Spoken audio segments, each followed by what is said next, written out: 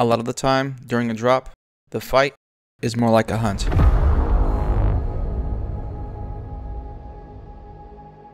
Sometimes, you think you're the prey.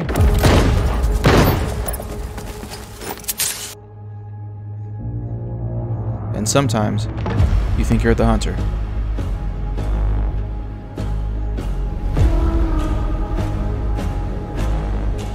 And sometimes,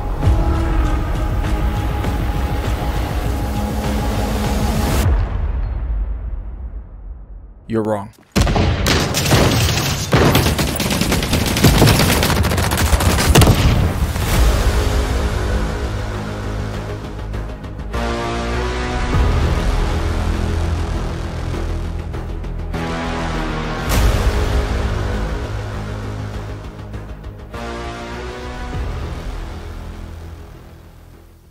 Hey guys, welcome back to The Drop. If this is your first time watching this series, we're going to go on a drop where I drop nuggets of wisdom about what kind of thought processes I go through when planning, navigating, fighting, and extracting during a drop.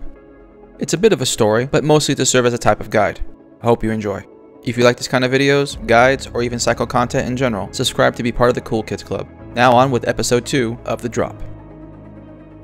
I start out this drop spawning at East Caverns by Woodcutters. My missions involve getting heavy strider flesh, killing mobs at power plant, and stashing some things at comms. I got a job to kill mobs with a sniper rifle, so I'm rocking a pretty standard loadout of Scrapper Bolty with green armor.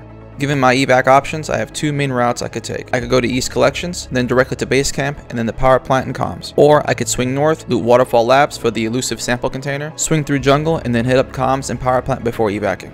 I opted to go north since I needed heavy striders, but also was looking for fertilizer and wood for quarters upgrades. Since I have no issues getting tall house keys, I decided to go use it and see what's there. But I was hearing a weird noise from inside the cave, so I was cautious to see what it was. And well...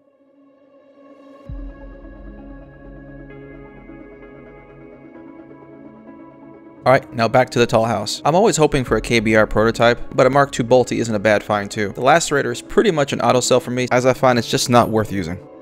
As I get into the room, I can hear footsteps running towards me. Expecting a grunt from a grenade throw any second, I am met with silence. I took a quick peek outside to see if he stopped a little further than I thought, but no dice. So, I decide to rummage through the containers and bait him while I keep an eye on this window.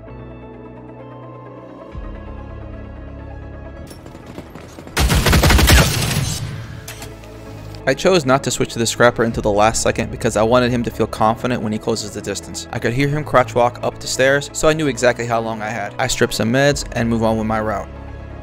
As I was approaching the edge of woodcutters, I could hear striders aggroing in Waterfall Labs, so I opted for a small detour to the right. This path allowed me to keep cover and distance from a dangerous vantage point. As I entered the gate, I heard someone sprinting above me.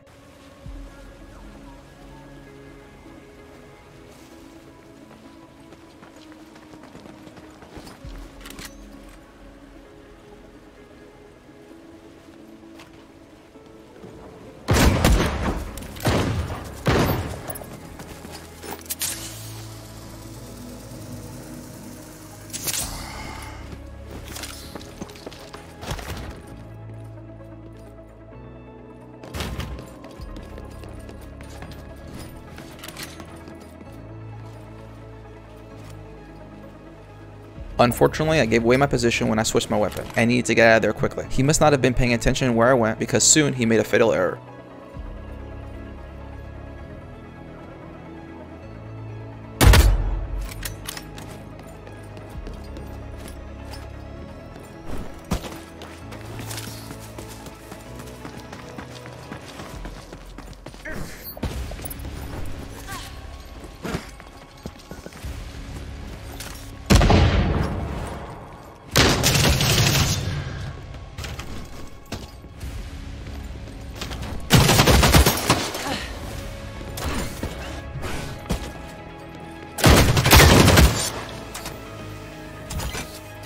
This fight is a decent contender for a why you died breakdown, but the quick version was, once he got headshot, he needed to create way more distance and time than he did. He should have ran downstairs to the lab, stimming as he went. Eventually, he could have caught me at a corner or something. Waterfall Labs heavily favors defensive play and peaks. I spent a lot of time here just playing in general, but also making the area breakdown video I did a while back.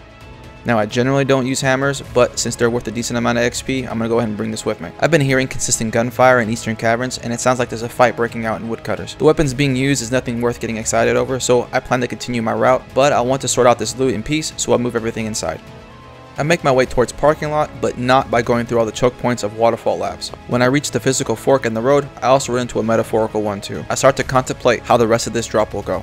My bag is already full. Granted, 15 pounds of that are the smoke grenades I need to stash. But going through jungle, shooting what I need to shoot, and finding things worth looting will be a pain to sort through my bag that's already full at this point. I check my map, and I see my other evac is nearby. So, I make the decision to get the quick W and reset.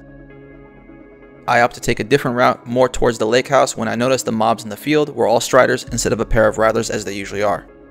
So I decided to get some progress done with my job. I maintain this position by the tree because no matter which direction I get shot from, I have readily available cover and escape routes.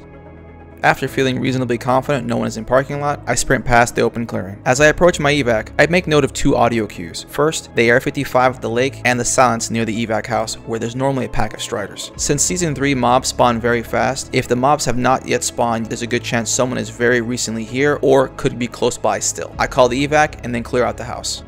Still not convinced I was by myself, I maintained my awareness. As the ship arrived, I make it a point of checking to see if that AR-55 player was making a push for the evac, but no dice. I make a smokescreen to dissuade pushes by imaginary enemies and get on the ship. Feeling foolish until... wait a minute. Yeah, my instincts tend to serve me pretty well in this game. Sometimes, this game keeps you tense just with the possibilities alone. I would almost rather hear constant gunfire than silence, cause that is loads of info if you know how to decipher it. The haul isn't much, but I was given an opportunity to get out with upgrade items I needed and some decent XP worth of loot. Sometimes, you have to be able to take just a small W and you can reset for something bigger. On the second drop, I was dropping down, I had a bit of a rough time the last three drops, so when I see this job pop up, I am all up for some relaxing tick farming and an easy 20k. I start off spawning at Science Campus, and since I'm close to Lagoon, I figure let's give it a quick check for possible resin gun, and then I'll head to Swamp. To my delight, there's a meteor in Lagoon as well. As I approach the area, I hear aggro on the opposite side of Lagoon. I instantly react by sprinting towards the main building. Either he's running to do the same, or he's going for the meteor.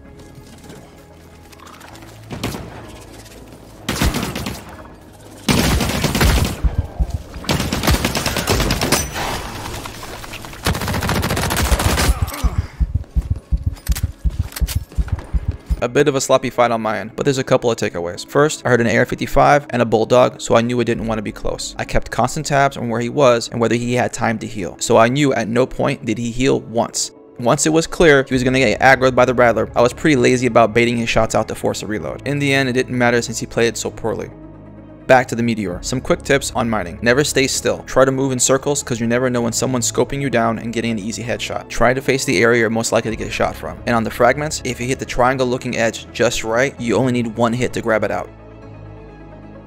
I do a quick sweep of Lagoon to find no resin guns and then I'm on my way to Swamp. As I pass south of water facility, I can hear multiple scrappers fighting it out around the evac area. Even if you have no intent on fighting, keeping tabs on where sounds happen and if you continue to hear them will give you an idea of likely trajectory of their movement. I find most players have predictable paths.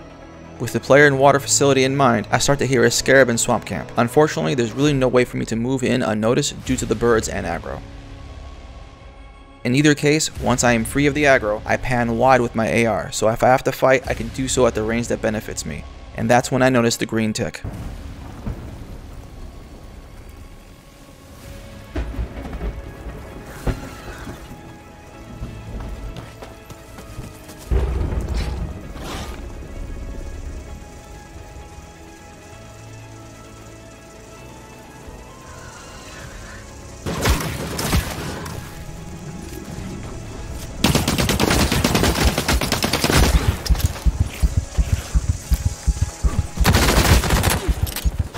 I keep an eye out for the previous player to see if he pushes the sound while I heal. I make sure to ready all my guns and my health before I start to loot.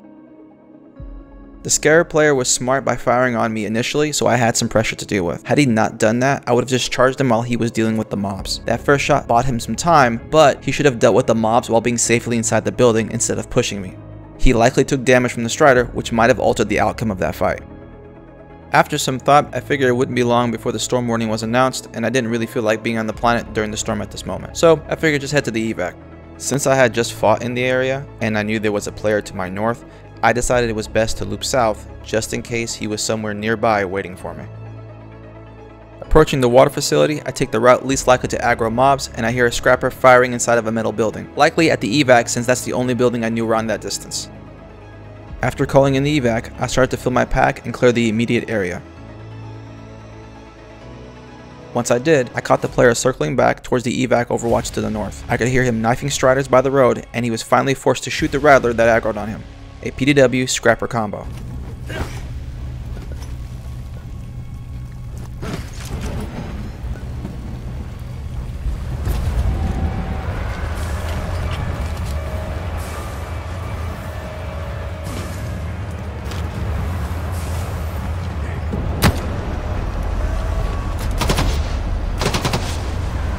I heard him drop down, but at the time, I didn't realize he had fallen within my line of sight and he was super vulnerable and I could have just killed him. I expected him to overplay his aggression, but he ended up just leaving. So I'll call in the next ride when it started to attract grenades.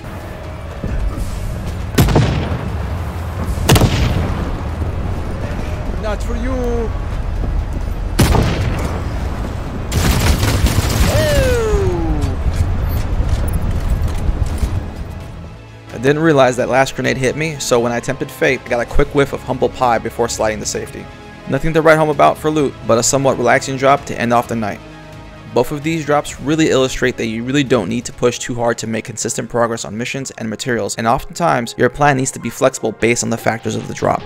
If you're new here and looking for more guides, you can check these out. Like and subscribe for future episodes. Thanks for watching, and good hunting.